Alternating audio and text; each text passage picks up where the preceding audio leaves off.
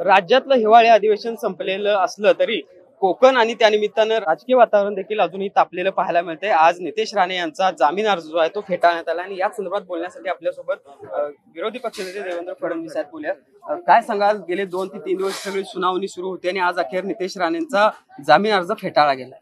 ही कायदेशीर प्रक्रिया आहे.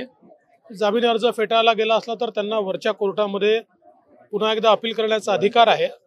ते निश्चितपणे त्याचा वापर करतील. मुळातच हे संपूर्ण प्रकरण जे आहे ते एक प्रकारे बदल्याच्या भावनेतनं ज्या प्रकारे सरकार वागताय हे वागणं योग्य नाही आहे आजच मी सरकारला चेतावणी दिली आणि विशेषतः एकशे साठ सीआरपीसीची नोटीस जी राणेसाहेबांना दिली ती इलिगल आहे. ज्या पोलीस अधिकाऱ्याने दिलं त्याला हे माहिती असायला पाहिजे होतं की पासष्ट वर्षाच्या वरच्या वयाच्या व्यक्तीला ते देता येत नाही तो गुन्हा होतो.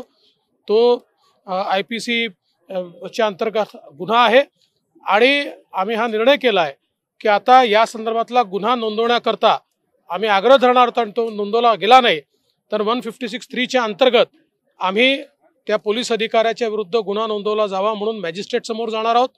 आणि यात असं जर लक्षात आलं की वरिष्ठांनी त्याला अशा प्रकारचे आदेश दिले होते तर मग ते एस पी असो डीवाय एस पी असो जे कोणी वरिष्ठ असतील त्या सगळ्या वरिष्ठांना देखील सहआरोपी बनवलं जावं अशी मागणी आम्ही मॅजिस्ट्रेट समोर करू.